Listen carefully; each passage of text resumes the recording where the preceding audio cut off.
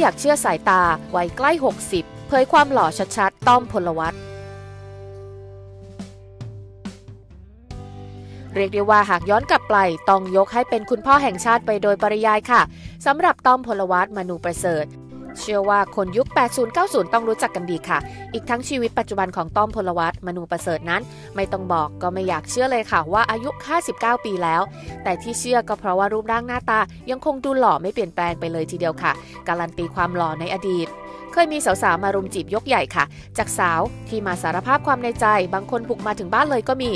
แต่ถ้าต้อมพลวัตเกิดในยุคนี้คงต้องเรียกว่าอปป้า ก็คงไม่เกินจริงนะคะ และหากพูดถึงชีวิตในวงการบันเทิงของต้อม ถ้าหากย้อนกลับไป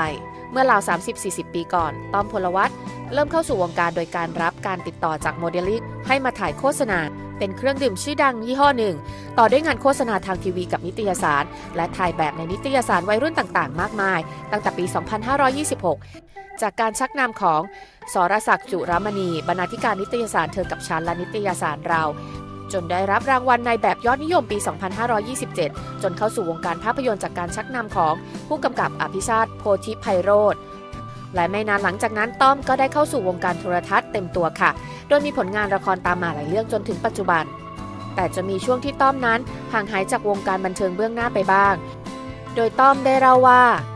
หายไปกับการเล่นหนังเล่นละครเกือบ 10 ปีนานเหมือนกัน เพราะตัวผมเองเริ่มต้นจากการเล่นหนัง ก็ห่างหายจากตรงนั้นประมาณ 10 ปีแล้ว ก็กลับมาเล่นละครแล้วก็เป็นพิธีกรภาคสนามอยู่หลายรายการ